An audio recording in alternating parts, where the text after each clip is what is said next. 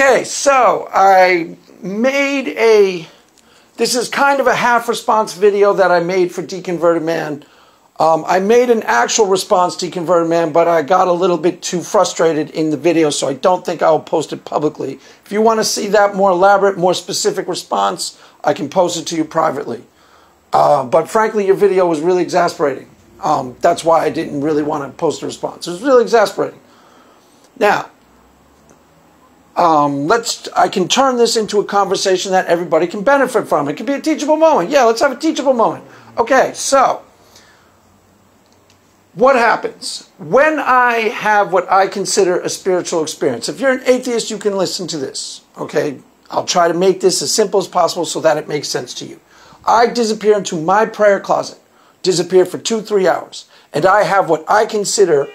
I have a powerful experience with what I consider the Holy Spirit of God. It happens without exception, happens all the time, and I can generate that that I can generate that almost at will.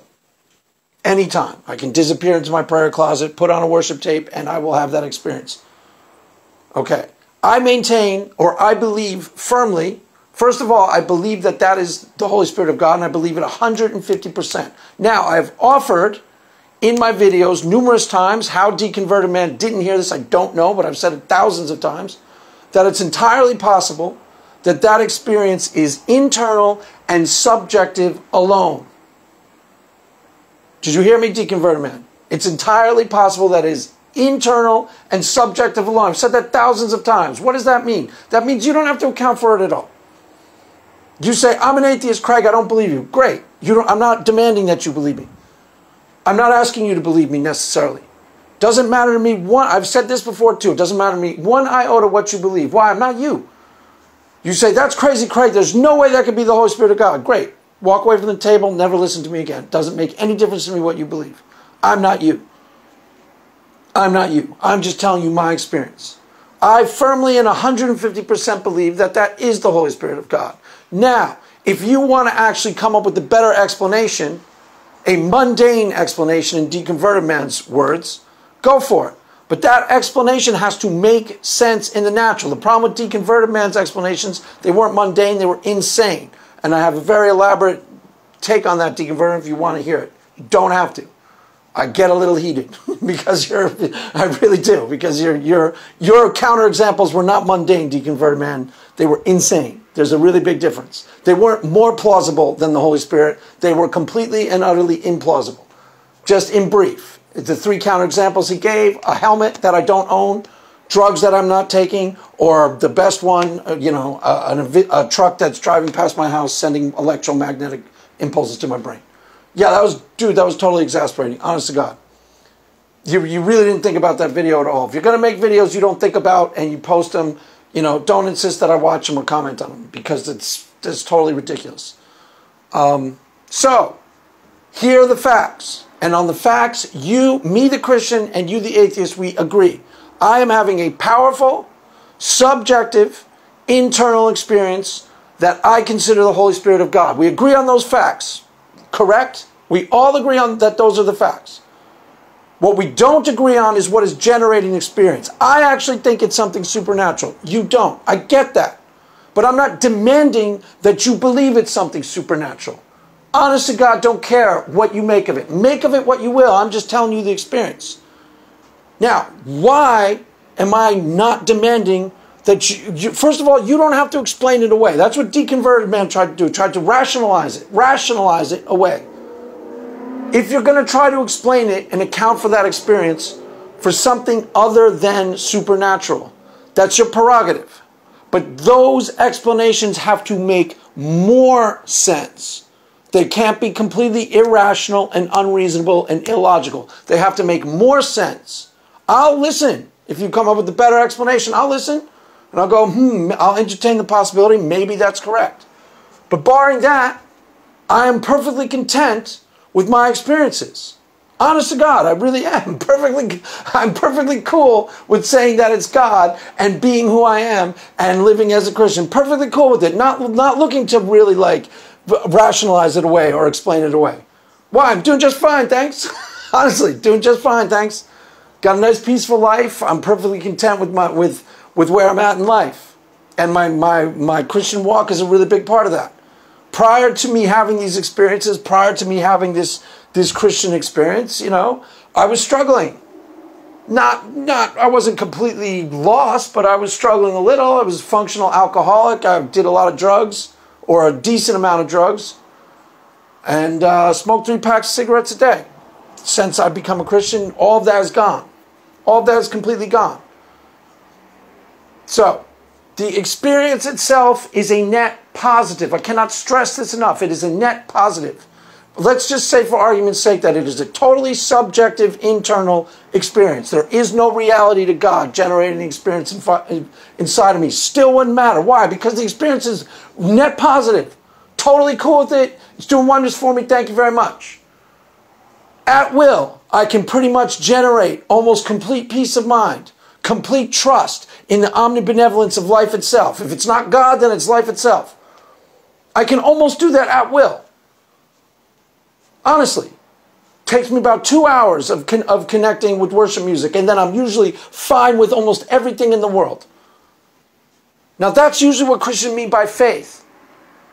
We don't mean radical assertion without evidence. That's what some types of Christian mean. You know, the earth is 6,000 year old. How do you know? Radical assertion without evidence. I radically assert it. I really, really believe it. Okay, great. Doesn't make it true. But that's not my experience. And I don't want to split hair, hairs over the word faith. Because, you know, the people of atheists have done a jujitsu act on the word itself and they've imbued it with voodoo significance. What does that mean? They've kind of you can you can imbue a word with toxic significance that doesn't intrinsically mean that it doesn't intrinsically mean, and that's what they've done with faith. When atheists talk about faith, they mean radical assertion without evidence, superstition, superstition multiplied. That's usually what they mean. And that's the only thing they mean, and they use it as a pejorative. That's not how we in the Christian community use the term. When I say faith, okay, when I connect with what I consider the Holy Spirit of God and I say faith, I mean trust, confidence in the character and the integrity of the being that I say I worship, and confidence in the omnibenevolence of that being and life itself. That's what I mean. I don't mean I radically assert that something ridiculous is true. I don't really overshoot the mark. I really don't.